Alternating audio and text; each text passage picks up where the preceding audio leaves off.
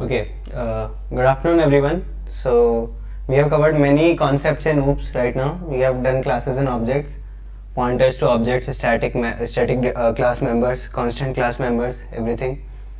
And today we are gonna cover some. Uh, so in this lecture we are gonna cover some uh, theoretical concepts. So they they have no no uh, like coding implementation, like data hiding, encapsulation, abstraction. These are only theoretical concepts. Okay but uh, theory questions on these concepts can be asked in interviews okay? Uh, you can be asked that what what do you mean by abstraction? These are very general problems okay? So they are very uh, common interview problems okay? So they are like the most common uh, interview questions. So whenever someone asks you about oops so the first thing they'll ask you uh, is about what do you mean by data hiding, what is the concept behind that, what is encapsulation, what is polymorphism, what is abstraction, okay. So for the sake of completeness, to complete the theoretical part, we are doing this lecture. So we are going to cover all the theory uh, concepts in OOPS, okay. These are OOPS concepts, we have seen them in the first lecture also, but since now you know the concepts of class and object, you will understand them better. So that's why we are doing this again, okay. So meanwhile we will keep the session interactive since we are on YouTube live. You can ask me any type of questions if you have regarding the course. Cool. So before going to that, uh, I told you yesterday also about this batch.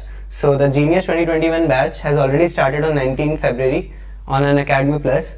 So CodeChef and Unacademy has, have started competitive programming course and you need to take the competitive programming subscription for that and there are various courses batches running. You can join any batch.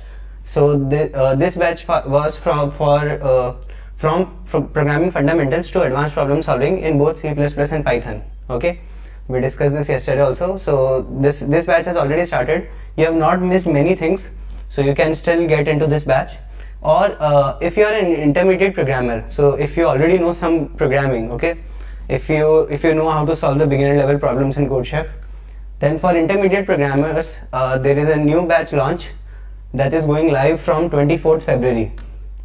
Okay, so what happens here in uh, uh, Plus subscription is these batches go, go live and usually every second day they have lectures in these batches. Okay, uh, there will be a two-hour lecture uh, on every other day. So on, in one week, uh, ap uh, approximately six to seven hours of content will be there. So you can easily manage it okay? And this batch is gonna finish in one and one or 1.5 months. Okay so if you are already an intermediate programmer and if you want to become an expert so I'll let you know that what the syllabus of this particular batch is and who are the educators who are going to teach this at the end of the slides. But uh, for now uh, there is a new batch launch which is called Elite. Okay? And it is going to start on 24th February. Cool. We'll discuss more about Elite later. Uh,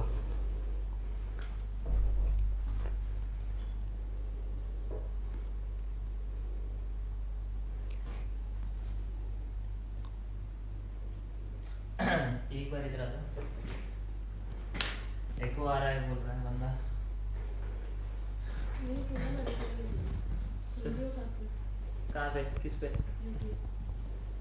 headphones पे एक बार एक बार मैं पूछ ही लेता हूँ echo is coming So, uh, is the voice echoing? Uh, can you confirm uh, two or three people?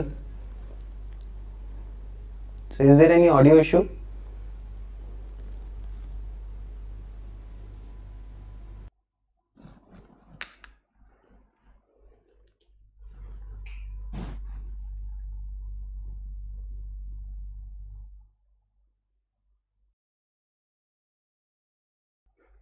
Okay, so uh, is it fine now? So we have corrected something. Uh, please let me know that is it fine now or not.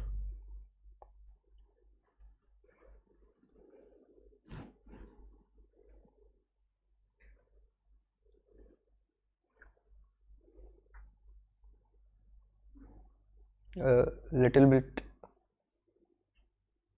Okay.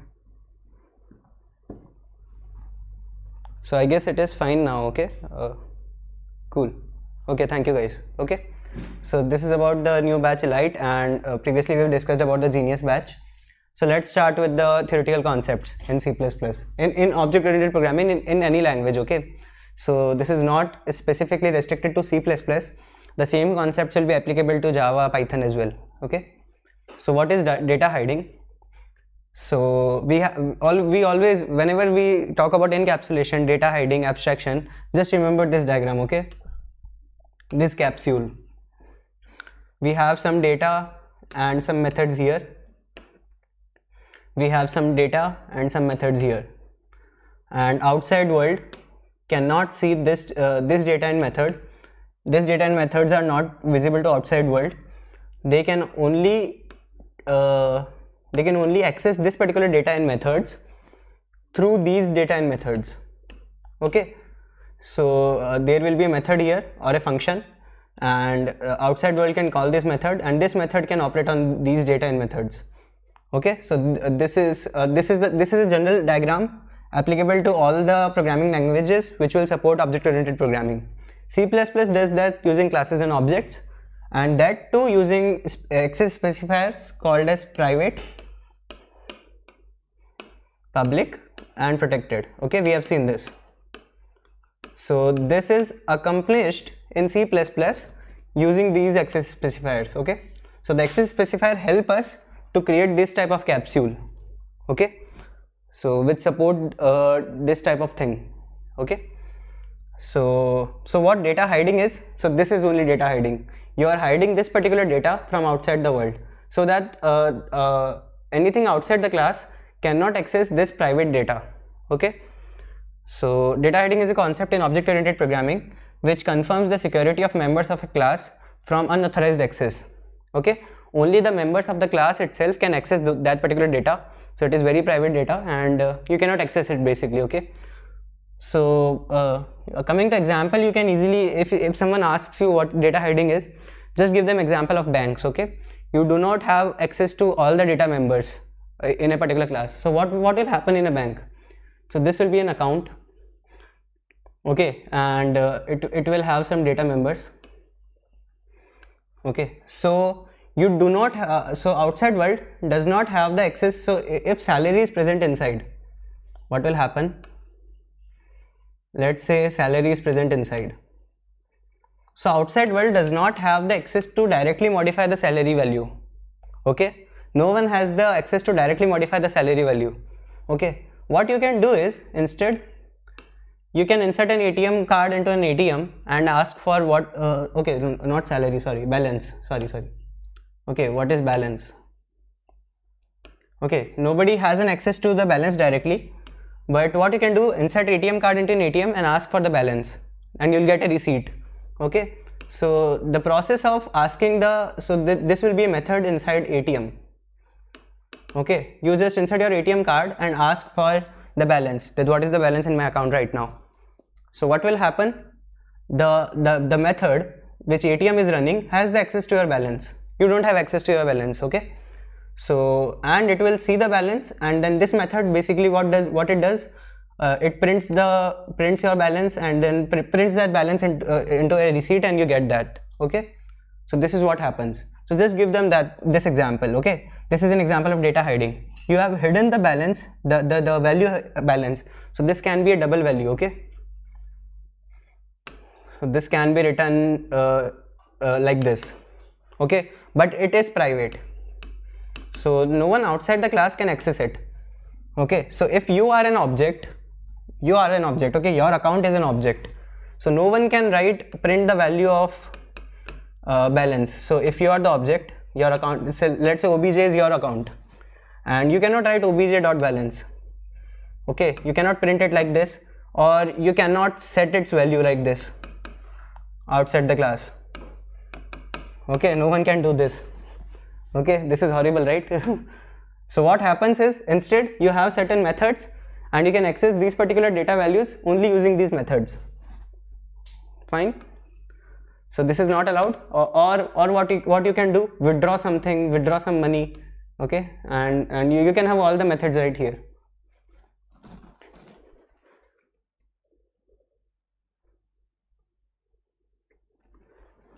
cool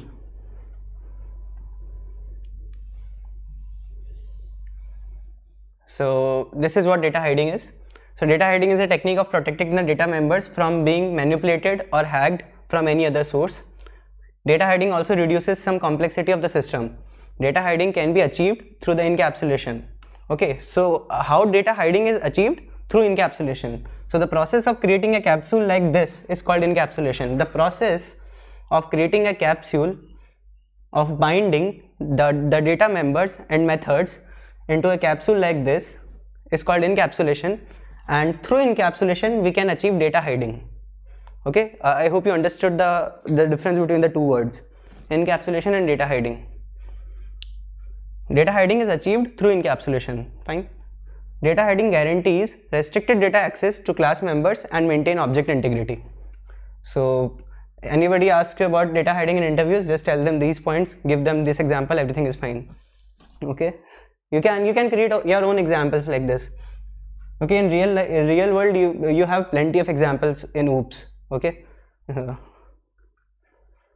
Okay and how data hiding is achieved? In c++ we have three access specifiers. These three keywords. So these are protection levels. We have seen that the private is the private has the maximum protection level and public has the least protection level. And protected has intermediate protection level okay? So you cannot access private and protected members outside the class. Private members cannot be inherited in derived classes we know what inheritance is okay private members cannot be inherited cannot be accessed outside the class public members can be inherited can be accessed outside the class and protected members cannot be accessed outside the class but can be inherited cool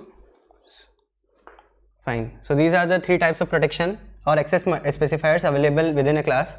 Usually the data within a class is private and the functions are public. Usually this happens. So in the first lecture I gave you this diagram only. You will have data here and methods here. Usually this happens but you can have some data here. You can have some methods here. Usually no one has data here. There is no point in having some data here okay. But you can have some private methods some private general methods which you don't want to run outside the class but these methods can access them can call them okay generally data is not present here okay so uh, yeah data is hidden so that it will be safe from accidental manipulation. Cool. So you know all these things. I'll just repeat it again. Private members or methods can only be accessed by methods defined as part of the class. Data is most often defined as private to prevent direct, out, uh, direct out, outside access from other classes. Private members can be accessed by members of the class only. Fine, you know about private. Public members and methods can be accessed from anywhere in the program class uh, so actually you have to access them using uh, objects. Okay so this we also know. Unless you create an object of a class you don't have this memory. Class is just a blueprint. Okay? Naksha hai sirf. Uh, it is a blueprint. So uh, creating an object is like creating a building from this map from this blueprint. Fine? So so uh, so this is this is just a blueprint. You don't have memory allocated right now but when you create an object you have these particular memory allocated. And now if, if this data is public then you can access this particular object's data directly outside the class. Fine. Yeah this is about public and private. And protected members have just one difference. They can be inherited as well. Okay now let's look at encapsulation. We know what encapsulation is. The process of creating that capsule. The process of binding the data and uh, methods together into one class is called encapsulation. Encapsulation binds the data and functions together. Okay so this this this binding should be meaningful.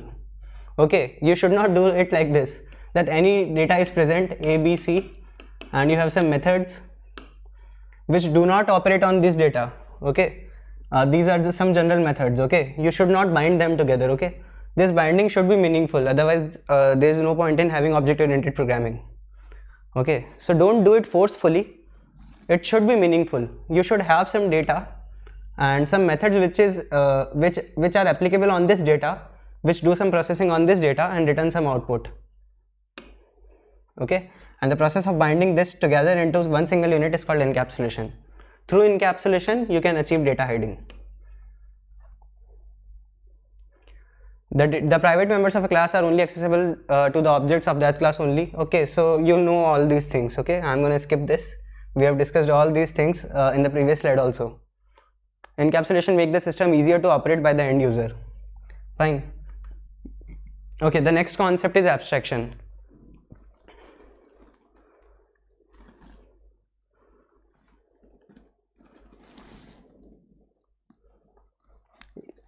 uh, is it possible to access data without any member function in the class? Yes it is possible if the data is public. Okay so that's what i am saying. Okay what happens is whatever programs you were writing till now before learning object oriented programming what you were doing? Let's say we have an integer a and we want to calculate the factorial of a. So you you had a long long factorial value initialized to 1 and then you had a for loop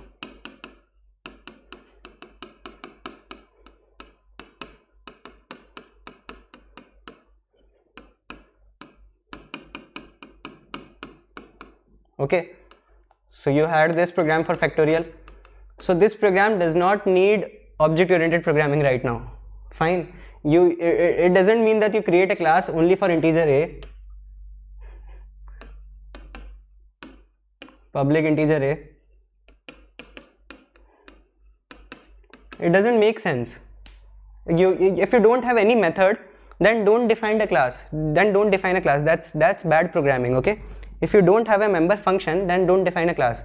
What you should define just write in the chat box.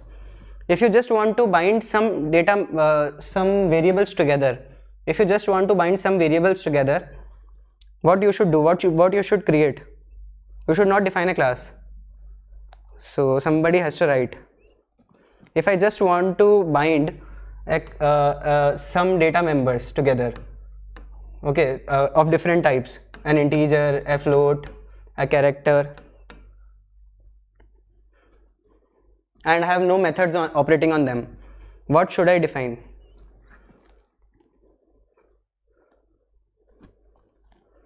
No, variables they are, they are already variables. An integer, a float, a member, uh, okay, so they are already variables. So what, what, what that particular, okay, yeah, that's what I wanted. Skill, Himanshu. So it is a structure okay so if you have only data members and you don't have any methods operating on them you don't want the feature of data hiding then why create a class? You can create a class it will work same as a structure but it is it is not a good habit okay? Classes are made specifically for this purpose. This purpose okay? So you should uh, you should see what do you want in this particular problem. That's why when we create a linked list we will see we will do it using uh, link uh, structures only okay in linked list we will we will we will want these structures. We will not create a class. Because uh, okay? So uh, i hope uh, it answers your question. Rohit okay? So yeah. Now let's again uh, let's come to abstraction so in the first class, I gave you an example of abstraction. Uh, uh, your laptop, uh, everything in this world has abstraction. Everything you use, your smart, smartphone, your laptop has certain level of abstraction, okay? So abstraction is hiding the details of a particular method and uh, uh, so you, you, you just hid the details from the user. User doesn't know the technical implementation, he just knows certain things. So just like in a laptop, when you press a key B, immediately B uh, character B is written on the screen if you have opened some text editor. Right? You don't know how this happens. Actually you know if you are a computer engineer you have understood computer architecture you know everything you know about ASCII values you know how this is converted into 0 and 5 volts through digital logic. But uh, an end user um, might not know okay? So this is abstraction created by uh, by a laptop for the end user so it doesn't it, it, it does it, it does its work. So there might be a method which does this job. When you press this key this should happen. This happens using a method. And what is written inside that method a user doesn't know. It doesn't need to know. So this is called abstraction. So uh, to hide the complexity of a code abstraction is used. Okay? It indicates the necessary characteristics of an object that differentiate from all other types of objects okay we uh, will come at this later later an abstraction uh, concentrates on the external aspect of the object okay fine so yeah this is this is also abstraction this is abstraction only So in this one, one block, you can create this one capsule and you can explain all the theoretical concept in OOPS. So you know what's encapsulation, creating this capsule. What is data hiding? This balance is hidden from the user, this is data hiding. And this method uh, supports the property of abstraction. How? You know that when I insert an ATM card and I ask for uh, what is my balance, it will give me a receipt or it will generate some error. Okay, everything will be done inside this method. So you, you don't know the, the code written in this method. You just know when I press the button that I want to know my balance, you'll get your balance. This is abstraction. So how the how this method does this job uh, is hidden from the user, and this is called abstraction. Okay.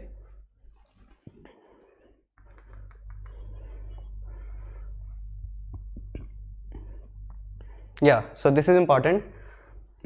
A proper abstraction, a proper implementation of abstraction emphasizes on the details that are important for the reader or user and suppresses the features that are irrelevant and deviant okay so the features which are irrelevant for the user are hidden you just know the necessary details uh, required to operate on this class.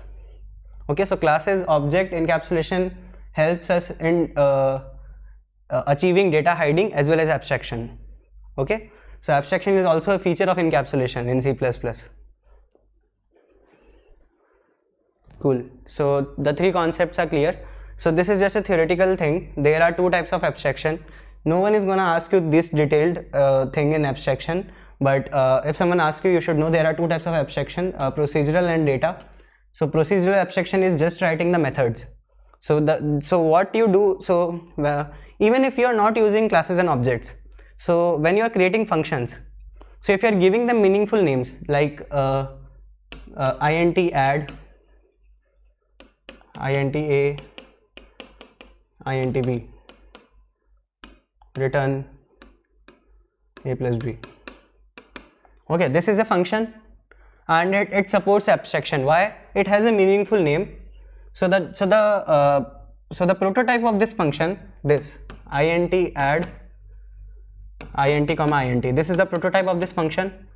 And the prototype of this function is self-explanatory. You give it two integers it adds those two integers and return an integer. So this is abstraction. This function supports abstraction. Why? Because to the end user, uh, it can use this function again and again and it will keep adding these two integers. So this is procedural abstraction. Why? We are cre creating procedures for certain tasks. Okay, data is not important here. We, we don't have any data. We, we are just creating procedures. Fine. So it, it, it does not require oops.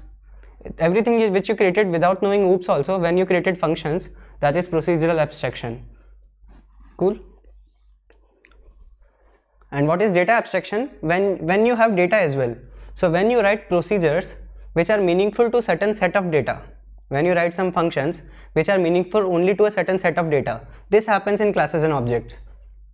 When you write certain methods which is meaningful to certain set of data only this is called data abstraction okay? So we have some data also and we are we are we are writing some certain methods which are which is useful to this set of data only okay? So when you have some data object and you are creating procedures for this particular data then it is called data abstraction.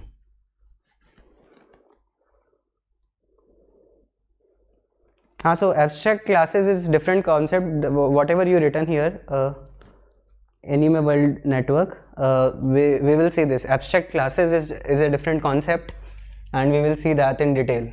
Okay? Abstract classes, virtual classes, virtual functions we will cover in one separate video.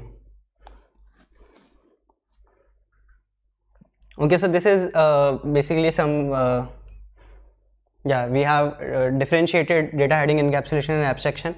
this slide contains the same things which I have told you, so we can skip this part, okay? Uh, we, uh, we, I'm repeating the same things again and again. I hope you understood the difference between data hiding, encapsulation and abstraction by now, okay? Okay so now the next important concept and it is very important concept okay? What is polymorphism? Very general questions are asked in interviews okay? So even service based companies small companies any company which will come uh, will start with these type of questions okay? Uh, no matter what what language you know you must know the meaning of encapsulation polymorphism abstraction and so on. Cool. So what is polymorphism? The word polymorphism means having many forms. This is the English meaning of this word. So a, a single object, uh, a single word, a single word, uh, okay, can have different meanings. Okay, that is polymorphism. Okay, the same name is used for different functionalities. is called polymorphism basically. Okay. So we can define polymorphism as the ability of a message to be displayed in more than one form. Fine. In C++, polymorphism is mainly divided into two types. So you can have compile time polymorphism and runtime polymorphism. Runtime polymorphism is also called dynamic. Okay.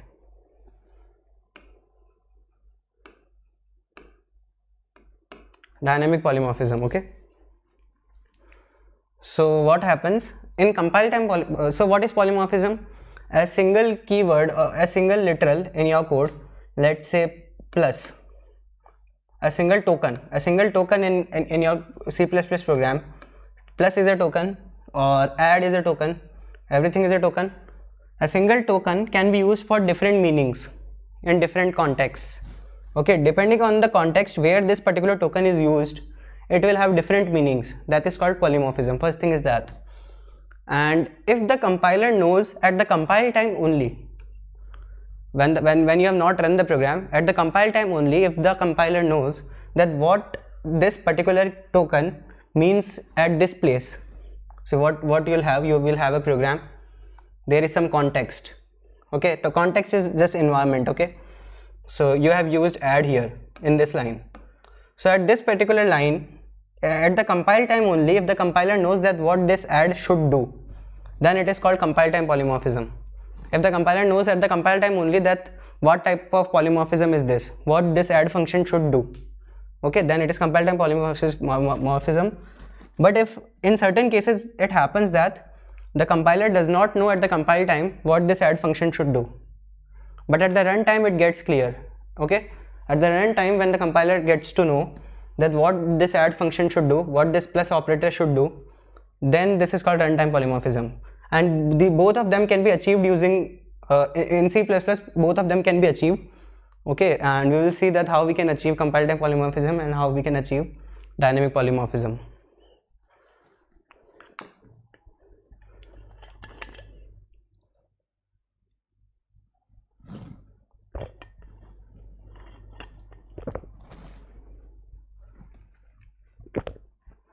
okay Pukhraj we will do that. Tomorrow we will have third practice test. Okay tomorrow we will have the third practice test. Uh, tomorrow or Wednesday. Okay uh, 23rd or 24th definitely we will have the third practice test. And let's say we have the third practice test on D day D and so on day D plus 1 we will have its discussion. Okay so uh, to, if, if tomorrow we have the third practice test then uh, day after tomorrow we will have its discussion. There i'll discuss that question also. I have left one question i know this thing. Okay in the discussion of third practice test we will discuss the clock question also. So i have given you some time to spend on that question. Timing will be 9 to 12 pm okay? Timing is definite for the contest. It will be 9 to 12 pm it will be a 3 hour long contest just like practice test 2 so I'll make a short video uh, on the story of this channel. I'll create a video describing what the contest is about, the third test, what, what is the link and so on. Cool. So these are two types of polymorphism. Now, let's see what is compile time polymorphism. So I've told you what this means. If at the compile time, the compiler knows that what this token should do. Okay. So this can be achieved using uh, either function overloading or operator overloading. Okay, so overloading is a concept which helps. Uh, so uh, overloading is a type of polymorphism. Okay, overloading helps us uh, exploit polymorphism. Polymorphism is what a token is used for different meanings. Okay, a single token uh, does different functionalities uh, in different contexts, and overloading is overloading helps us achieving polymorphism and there are two types of overloading function overloading and operator overloading okay and function overloading actually we have already seen uh, in, in, in C++ basics only. So what happens in function overloading? A single function name, let's say fun, can have two definitions.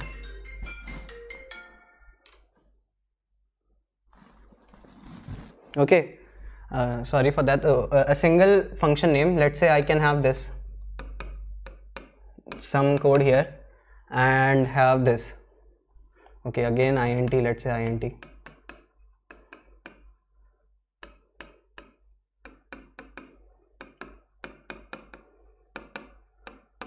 so we have two de- definitions of the same function fun but they differ in the number of arguments or the type of arguments. Okay we have seen this in c++ basics what function overloading is. So this is a type of compile time polymorphism at the compile time only when you call something uh, when you call the function fun fun 1 comma 2 the compiler knows that that which particular fun it has to call by seeing the arguments. Okay? So this is a type of compile type poly- polymorphism. We didn't cover this thing there but everything else we have covered. We have seen some questions also on function overloading. Okay? But i know that the operator overloading is left. So the next lecture will be on operator overloading only we'll see how you can uh, overload operators in c++ and what are the rules in that everything okay? So there are also certain rules in function overloading which i left there. So i am covering uh, those rules here okay? So first rule is uh, okay so uh, this you know function declarations that differ only in the return type are equivalent okay? So you cannot have something like this. Void fun int a and uh, uh, int fun. Int a. This is not allowed. This is ambiguous to the compiler. The compiler doesn't know which fun to call if you are passing one argument like fun3 the compiler doesn't know which fun to call. These two functions differ in, differ in the return return type but this is not allowed. Okay? So to to to have the function overloading concept you the either the number of arguments should differ either the number of arguments should differ and if the number of argument is same then at least one data type should be different. At least one. Okay? We have seen this. So second is parameter dec- declaration that differ only in pointer versus an array are equivalent. So i'll give you an example for this. So what happens is uh, you can you cannot have something like this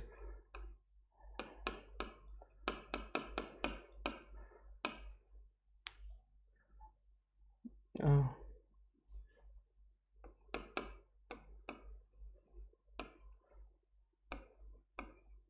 and uh,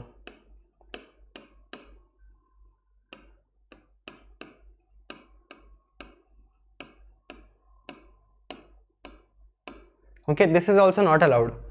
Okay even though you can say that the data types of both the parameters are different the actually the data types are not different. We have seen this in pointers and arrays lecture that this and this are equivalent only. Okay so you cannot have in c++ something like this. You cannot have two functions with the same name but these type of parameters. So uh, yeah they are not different. They are same for the compiler. And when you are passing in pointer so uh, i have told you you can pass in pointer.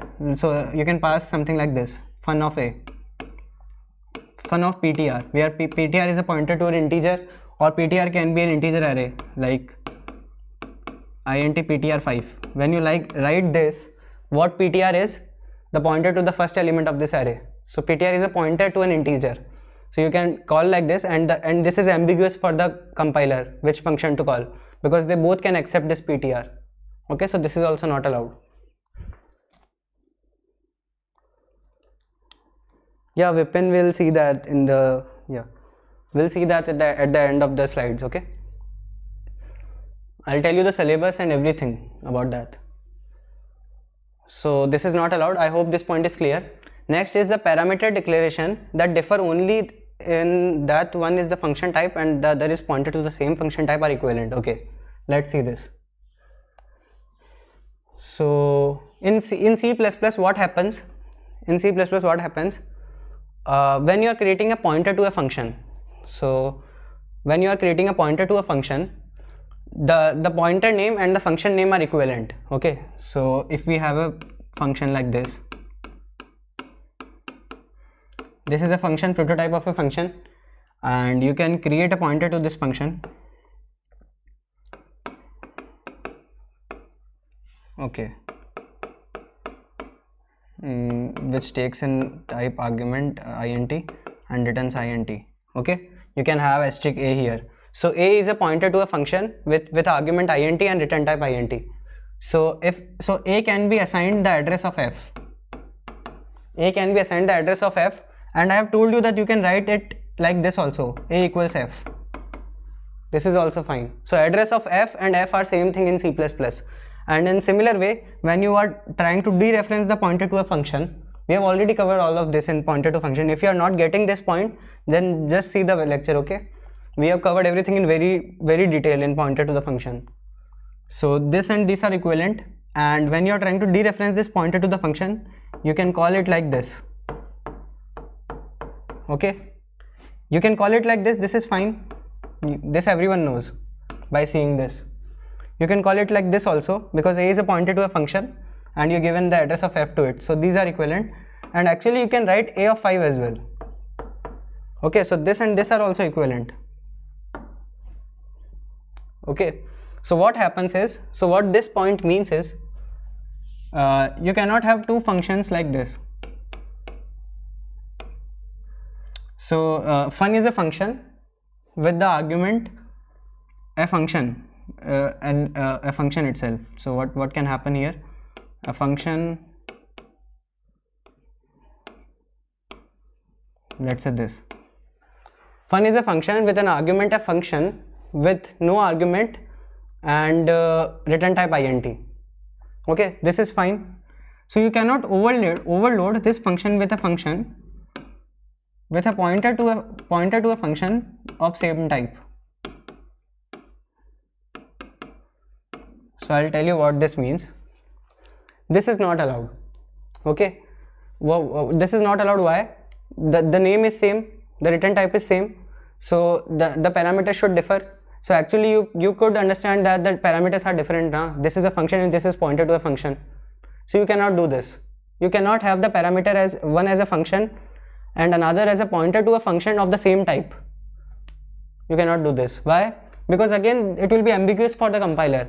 If you are if you are calling the fun function fun with with some function with with some function like f. f is a function and you are calling the function fun with f as an argument so it will be ambiguous for the compiler to which function to call. Okay? Because f itself is uh, is a pointer to function can be pointed to a function as well and can itself be a function as well due to this property. This and this are equivalent. Due to this property it will be ambiguous for the compiler that which function which function fun to call. Okay i i'm not very sure that you understood this or not. Can you just let me know in the comments that I should explain this particular thing again or not.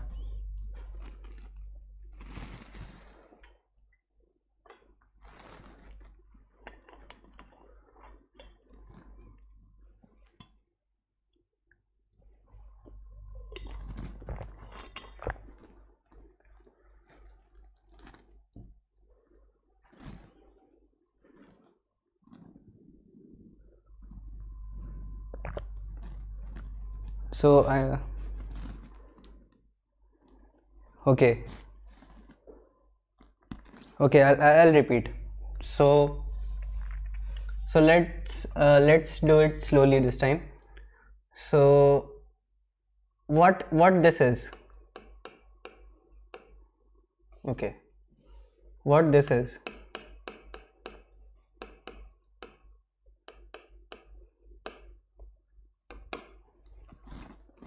f is a function with an argument of type integer and return type integer okay? So in pointers to function we have seen that we can create a pointer to the to a function with a return type integer uh, with a return type integer and an argument integer. So what this statement means? Ptr is a pointer to a function with this argument an integer and return type integer okay? And we have seen that this ptr this pointer ptr can hold the address of any function which is of this type uh, with with one argument of type integer and return type integer. Ptr can hold address of any any function with this property. So ptr can hold the address of function f. Fine? So this is like using pointers only. Pointers for integers this is like the same thing. And uh, if you if you know pointers you know that this statement is equivalent to asterisk ptr equals f. Okay? So you know this thing. Ptr equal to end f is same as asterisk ptr equal to f. This is like de- dereferencing the pointer ptr okay? This is fine. So this is about pointers to functions. Okay? You can uh, to every function you can have a pointer which should have the same prototype same argument and same return type so this is about, point, about pointer to function. Now what happens is in function overloading you cannot do this. So a function can be defined like this. Fun. A, a function can be defined like this. It can have some return type. And its argument is again a function. The argument of a function is again a function. You can do this okay? So what this statement means? Fun is a function with return type integer and one argument which is a function of, of what type? With one argument of type integer and return type integer. Okay things can be th- this complicated in c++ so i'm repeating this statement. Fun is a function of return type integer and argument a function with with an argument integer and return type integer. Okay this can be written. And let's say we, I am creating again a function fun and this time its its parameter is a pointer to a function a pointer to a function with with argument integer and return type integer.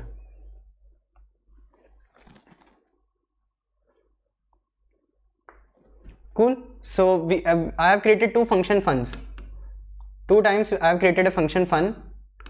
Uh, this function has a parameter uh, which is a function itself this function is a uh, has a parameter which is a pointer to a function.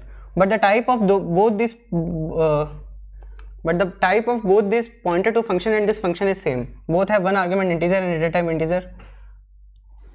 Fine. So you cannot do this. This is what this statement is saying.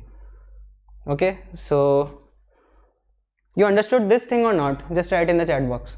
You cannot do this. And i'll tell you why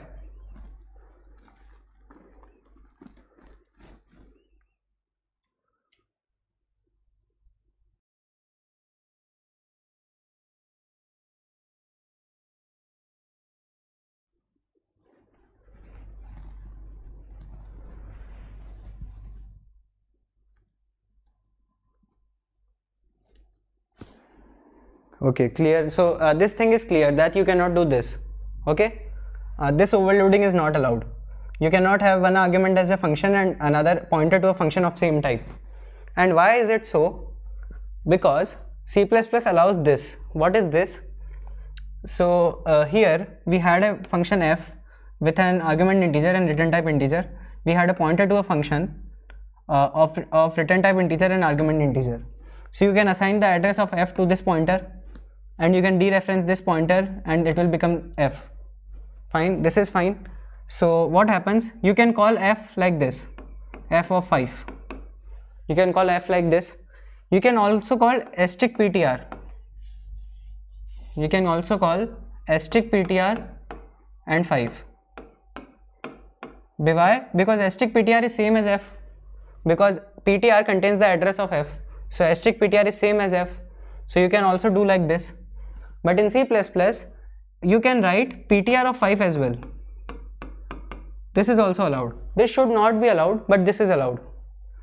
Okay so since this is also allowed this and this are equivalent since asterisk ptr and ptr are equivalent so what happens? The address of a function and the function name are equivalent. So that's why this is ambiguous for the compiler. So when you are calling fun and passing some some function as an argument it doesn't know. It is an address to a function or it is a function itself. So that's why it, it doesn't know that which function to call. So that's why this this is ambiguous and that's why it is not allowed. So i hope uh, you're getting some things now. Okay you can see this video again and definitely you'll get this point. And still if you can't understand this then you have a lack of understanding in pointers to functions okay so just see the pointers to function video again. It is very important concept right? Uh, you can be asked questions on this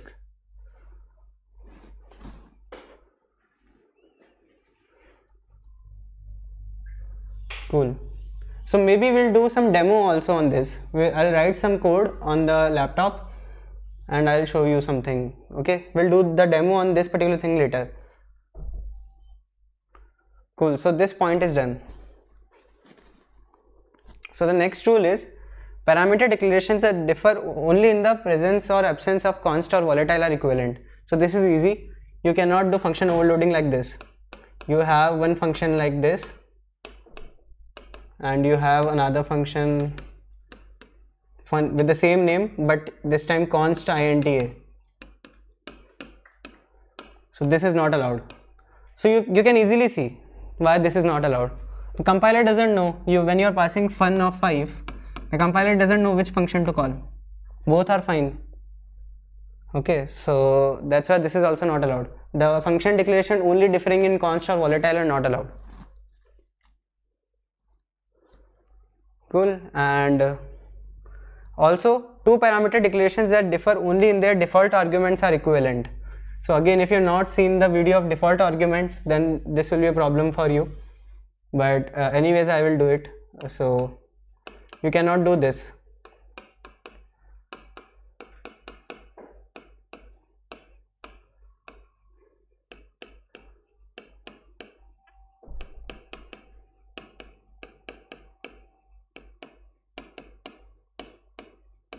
Okay this is also not allowed. So if, if if you know what default argument is actually if, if you didn't have this function let's say you only have this function then you can call this function like this fun of 3 comma 5 in this case a will be overwritten to 3 and the value of b will be overwritten to 5 this everybody knows. But actually you can call this function like this also fun of 2 what will happen? The value of a will be 2 but b will be set to 3 we have discussed this. So you cannot have two functions like this. So actually this function can be called uh, with one argument but when you are calling functions with two arguments it will be ambiguity for the compiler. That which function to call. Okay? So the functions differing only in default arguments cannot be overloaded. They are equivalent. So these are some rules of the function overloading which we left beforewards so i have covered it here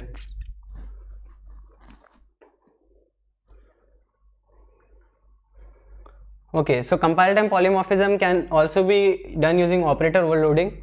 What operator overloading is? The same operator plus can do many things. So let's say if we have two strings, then then what this uh, this plus operator do? It it concatenates these two strings. It is done automatically. It is it is already overloaded for strings because string is an inbuilt data type in C++. So the C++ supports this operation and when you do addition for integers it adds these two integers. So the same operator plus can be used in different ways. Okay so this is operator overloading. So you can overload operators on your for your own purpose. You can add two objects. You can add uh, two instances of structures. Okay so you can do many things. So let's say i have a class a and i have created two objects of it a1 and a2 so we can define this operation what what should be done when we add two uh, objects? Okay so the next lecture is on operator overloading only. We, there we will see that how this is done. Cool. And the next is runtime polymorphism. I have already told you what runtime polymorphism is. When the compiler doesn't know at the compile time okay that that uh, what this particular token means in this line. But at the runtime the compiler knows it. Then it is called runtime polymorphism it can be achieved uh, using function overriding. So this will be covered later. So operator overloading will cover in the next lecture. Function overriding what overriding is we will cover later in the course. Okay? Tomorrow or day after tomorrow we will cover this. So runtime polymorphism, polymorphism we will again see. For now in this lecture what what you know now is data hiding you know abstraction you know encapsulation you know. In polymorphism there are two types compile time and runtime compile uh, compile compile time can be achieved using function overloading or operator overloading in C++ runtime can be achieved using function overriding or virtual functions virtual function and classes. So these we will cover later. This we have already covered. I have told you some other rules as well. Operator overloading we will cover in the le next lecture. Okay? So everything will be covered in this way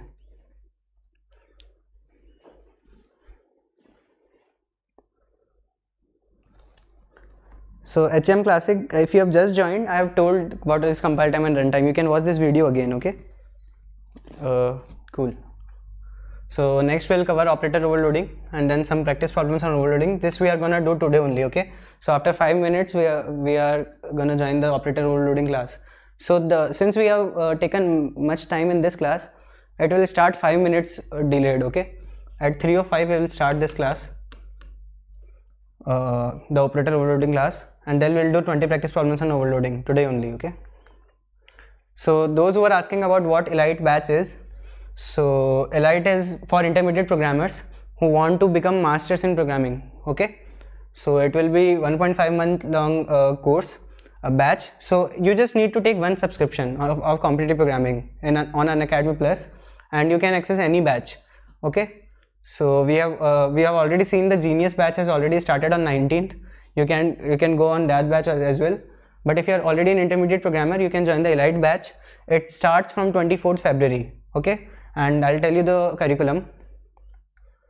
So you'll get the structured learning and everything. And uh, so wh- who are the educators? So uh, so they are so they are uh, Ria and Triveni, I guess, and they they are all, they have already been to ICPC World Finals okay? So in the yesterday we have discussed that what acm icpc is and what is the importance of getting into world finals for uh, in icpc basically okay? And they are gra- gra- grandmasters on Codeforces so and uh, uh, so this will be the curriculum for the uh, uh, elite uh, elite batch. So in so yeah you can pause this video and see this. In week 1 and 2 they are gonna cover some basic and advanced interview problems on sorting and searching. Then then they'll cover bit manipulation and two pointers then they'll go to back backtracking and some classic problems on backtracking. Then on week from week 6 to 10 they will cover advanced data structures okay? Then they'll cover square root decomposition. They are very advanced topics okay? After that they are very advanced topics. They are generally not asked in interviews but you know need to know them if you want to become a master in programming okay? So after that you'll uh, you'll cover advanced topics basically Cool. So these are the educators on uh, academy platform. You can go and check their prof- profile. Okay, so uh, almost everyone is world finalist for ICPC. Okay. cool. So if you're watching me for the first time, I am Jay. All I got All India second rank in uh, GATE Computer Science 2019 and All India 39th rank in ACM ICPC 2019. And I'll be teaching computer programming uh, and data structure algorithm on this channel as well as on Unacademy Plus. So if you want to take the computer programming subscription on Unacademy, you can use my co code JAYCP and you'll get a 10% off. So let's meet at uh, in the uh, what do we say that? Yeah, operator overloading class at uh, 305. Okay, and you can follow me on an, Unacademy as well. Uh, bye.